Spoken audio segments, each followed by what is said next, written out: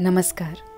Unsung heroes of India प्रसंग के अंतर्गत पेश है ओडिसी नाट्यशाला की प्रस्तुति, ज्योतिर्गम्य, आंगनवाड़ी कार्यकर्ता की कथा। आंगनवाड़ी कार्यकर्ता, जो हर आँगन रोशन करते हैं, लेकिन उनका परिचय आज भी अंधकारमय है। आइए उन्हें पहचानें, सराहें और संग मिलकर समाज को संवारें।